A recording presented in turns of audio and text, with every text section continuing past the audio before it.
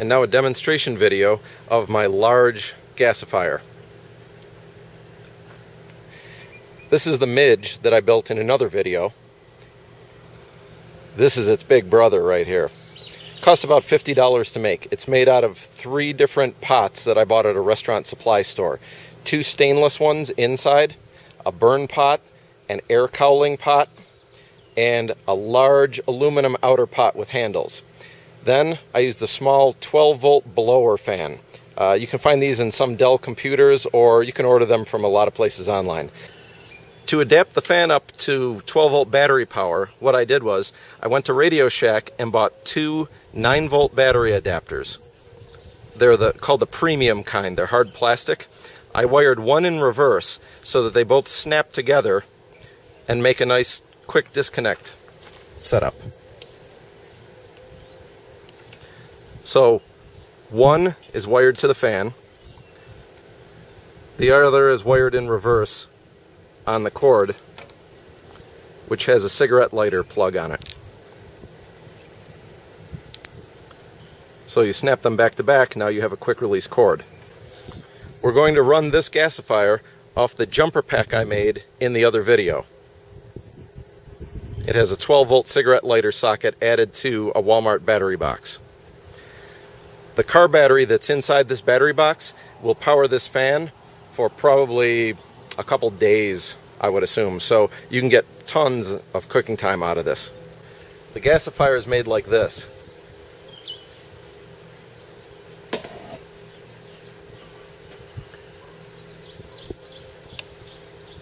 The computer fan just blows inside this large outer casing.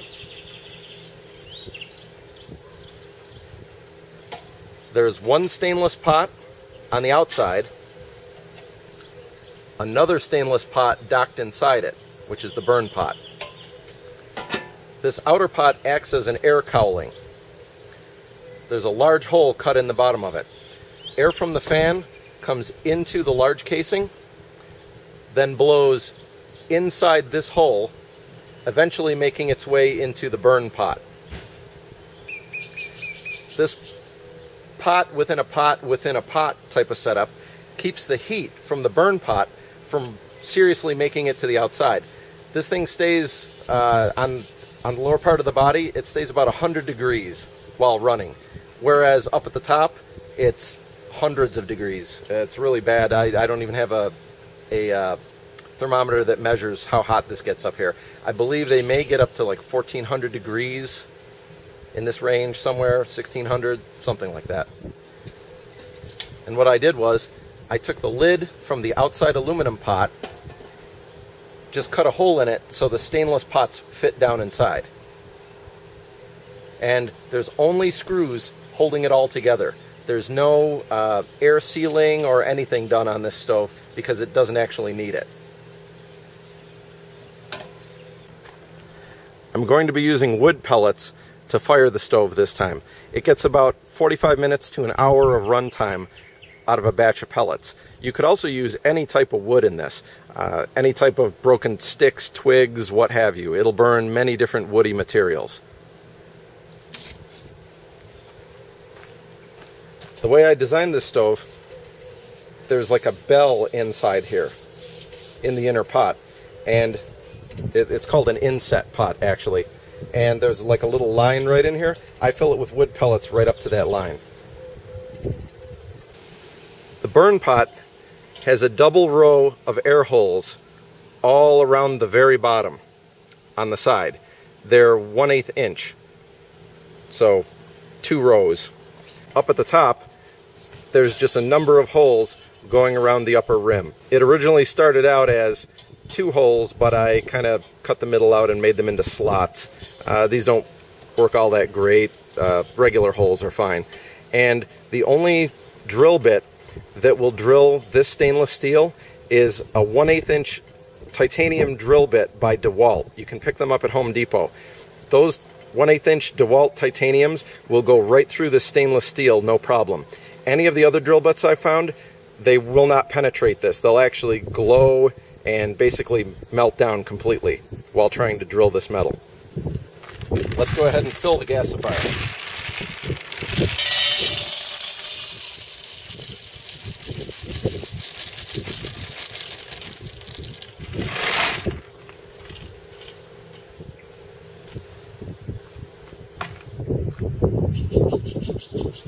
So, right up to the fill line inside the pots. Next, I use a little bit of liquid fuel to soak the pellets so that they start up a little bit easier. You can use diesel fuel in here, jet fuel, kerosene, alcohols, and I'm going to use a little bit of charcoal lighter fluid. All you want to do is put about a shot glass worth, about an ounce in the top of this. Spread it around a little bit and just let it soak in for a couple minutes. Do not use gasoline or Coleman white gas in here because it'll collect the vapors and you can get a really big fireball out of this.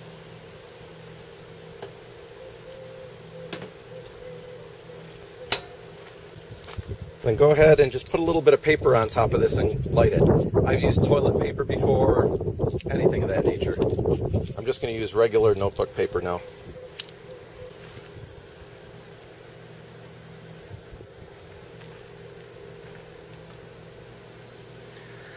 There'll be a tiny bit of smoke from the burning paper. You can let it go about maybe 20 seconds and then go ahead and plug the fan in.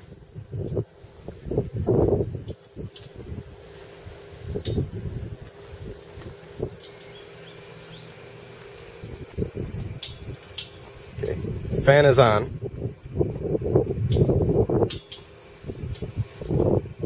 You can see the gas is being collected already.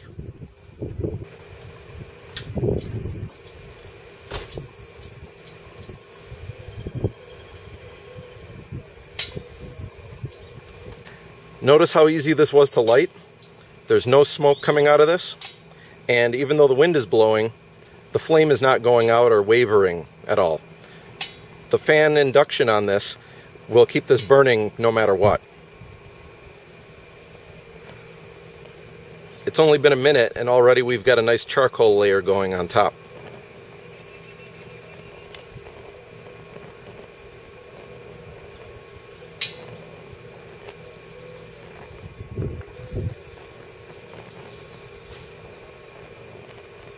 Notice also that the 12 volt blower fan is pretty much silent.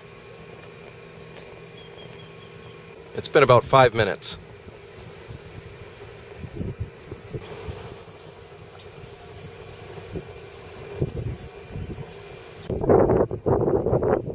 It's been about 10 minutes now. Got some really good tall flames out here. about eight inches tall. I can't even get near this thing out here. The heat's that hot. Now after 10 minutes, this is about 100 degrees down here. If you had a pair of gloves on, you could just pick this stove up and carry it around. Move it around, no problem. These stoves are pretty safe. It's pretty much like a campfire, just controlled and contained inside a metal enclosure. The outside doesn't get all that hot. It won't burn anything underneath. Like I could set this thing right on this uh, plastic tablecloth out here and it wouldn't do a thing to it. The air coming in from the blower circulates around on the inside of this and keeps the outer container cool. Okay, we're at the half hour mark now. Got a little bit of wind out here. You can see it's not going out and you can see we've only used about two and a half inches worth of pellets.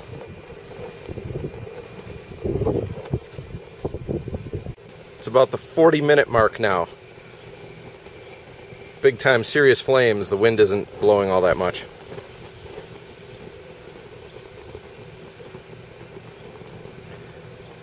Ah, that's hot.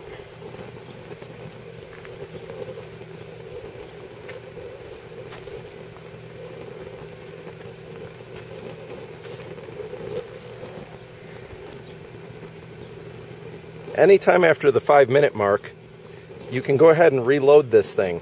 You can use a, uh, I use like a big stainless spoon. I think it's like an ex uh, Army mess spoon. And you can go ahead and shovel in extra pellets, just a couple spoons at a time. And you can make this burn for, uh, you know, up to a couple hours if you want, no problem. Before any kind of ash will even build up in here. Pretty much serious heat in there.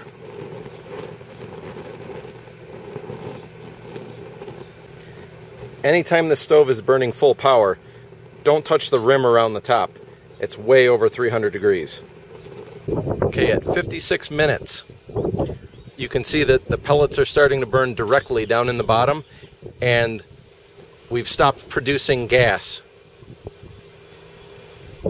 at the top ring. There's a little bit of gas being produced at the 56 minute mark. Just tiny bits, but mostly it's the pellets burning directly down in the bottom. There's tons of coals down in there. You could still cook food over this, seriously. You can leave the gasifier running till the flames go completely out. The coals will still continue to glow down in the bottom, and you still have usable heat. You could still warm your hands, uh, dry off a pair of boots, anything like that. The coals will stay in the bottom for quite some time. You just keep this thing running until it goes dead cold. With a 12 volt car battery in the pack, you have tons of runtime on this fan. You can run this thing for two days, easy. 61 minutes of runtime. The flame is finally out.